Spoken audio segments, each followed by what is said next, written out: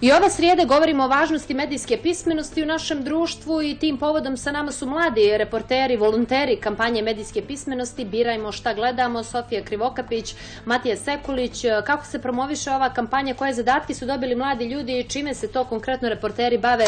Evo prilike da i ove srijede ponovimo i da svi vi koji niste imali priliku da ih pratite, sada to i učinite. Dobro jutro i dobrodošli mladi ljudi. Dobro jutro. Evo prilike da odmah napomenemo sve one koji su slušali i one koji prvi put slušaju čime se vi to bavite. organizacija koja je ovaj, u sklopu ovog projekta jeste UNICEF i Agencija za elektronske medije. kampanja se zove Birajmo šta gledamo, naravno promovišemo medijsku pismenost. Baš da, da bismo birali šta gledamo i da bismo kritički sagledali sve što nam se prikazi i da ne bismo samo upijali cijeli sav sadržaj koji se prikazuje na svim medijima. Znamo da smo mnogo izloženi njima, pogotovo mladi ljudi i da provode, evo, istraživanje je pokazalo 8 sati dnevno ispred nekog ekrana. I također pohađam radionice, to predavanja, pa skoro pet mjeseci i u okviru njih nastojimo da ovladamo različitim medijskim formatima i da naučimo kako se izražavamo preko njih. Također i da kritički analiziramo sve medijske poruke i medijske sadržaje. S obzirom na to da su jutarnjom programu već predstavljeni neki rezultati iz istraživanja kampanje, kampanje medijske pismenosti koju s podršku napomenemo UNICEF-a pokrenula Agencija za elektronske medije. Evo i pitanje šta ste konkretno izdvojili ovog jutra. Napravili smo taj uvod i evo prilike da nastavimo, da čujemo ono što do sada nismo imali priliku da čujemo od mladih ljudi. Pa ja sam najviše obratio pažnju na taj podatak da šest od deset roditelja zapravo ne pokazuje tu zabrinutost u, u smislu vremena zapravo koje mm njihova djeca provodi ispod nekog ekrana.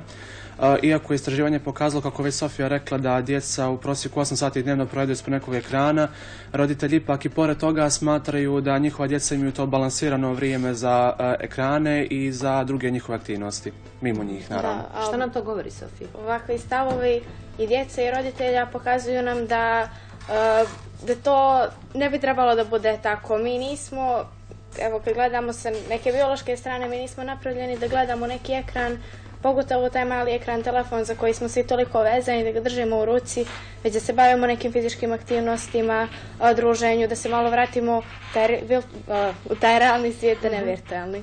Da pitate predstavnike mlađe generacije, oni gotovo da ne poznaju drugačije okruženje. Sve što su mlađi, to su bliži ekranima. Na koji način roditelji percipiraju problematiku o kojoj ste govorili. Kao da u suštini negdje ni mi nismo svjesni koliko naše dijete gubi vremena na dnevnom nivou i koliko je to loše za njegovo zdravlje. Pa većina zapravo roditelja, to jest neki roditelji zapravo i nisu ni svjesni kakvim su sve nepodobnim sadržajima izložena njihova djeca, zapravo koji su to sadržaji neprilagođeni i neadekvatni za njihov uzrast. Evo, na primjer, također bio jedan podatak da svako drugo dijete kaže da, da je gledalo neki TV sadržaj koji ima oznaku da nije za njegov uzrast. Tako da upravo naša poruka kampanje je biramo šta gledamo. A u cjelini roditelji smatraju dakle, da mediji zapravo nemaju ni pozitivan ni negativan utjecaj na djecu i također jedna od ključnih poruka naše kampanje jeste zapravo da mediji nisu ni dobri ni loši, već da oni imaju utjecaj na nas u zavisnosti toga kako ih mi koristimo, kako mi zapravo raspolažemo njima. Tako da ovo istraživanje koje trenutno analiziramo iz srijedu u srijedu možemo da, možemo da ga tumačimo kao jedan poziv i djeci i roditeljima da biraju što gledaju, da ograničaju svoje vrijeme ispred ekrana i da kritički analiziraju sve medijske poruke i sadržaje koji im se plasiraju preko medija. A jedan od e, tri roditelja, to je svaki treći roditelj kaže da e, je, ima negativan utjecaj na njihovo dijete, uh, cijeli taj medijski sadržaj i tehnologija, međutim to je opet malo, ali i roditelji, eto dobra strana je da su oni samo kritični što se toga tiče, pa da i oni kažu da im tehnologija smeta u nekom zdravom odnosu roditelji i djeteta. Ali isto tako istraživanje pokazuje da u suštini ostaju pasivni. Oni vrlo znaju šta je problem, ali ne, ne, rade ništa da ga riješe. Istraživanje pokazalo i bez čega djeca ne bi mogla da zamisle svoju svakodnevicu. Jedno čekamo da čujemo bez čega ne bi mogli da Pa veći broj djece, tačnije 43% djece uzrasta od 9 do 17 godina, kažu da ne bi mogli da provedu svoj dan bez korištenja mobilnog telefona. I u okviru tog podatka imamo različite tumačenja u smislu uzrasta djece.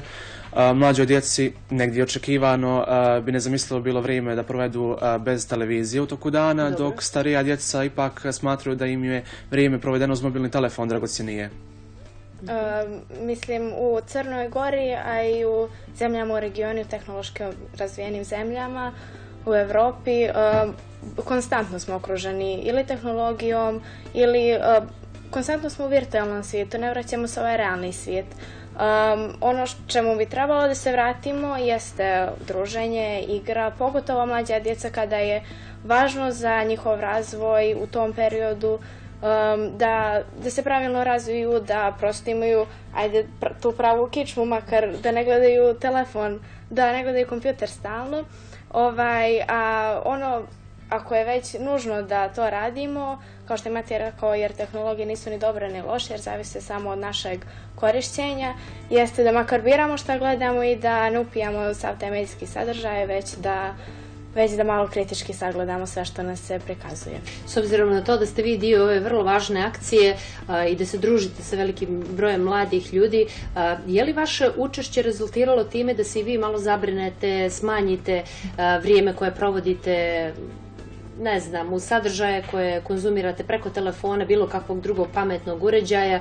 Jeste li uspjeli dotičete na vaše okruženje, na mlade ljude sa kojima imate kontakt? Pa prvo počinjemo od sebe. Prvo mi pokušavamo da smanjimo ovaj utjecaj koji mediji imaju na nas jer je neizbježno imaju baš veliki.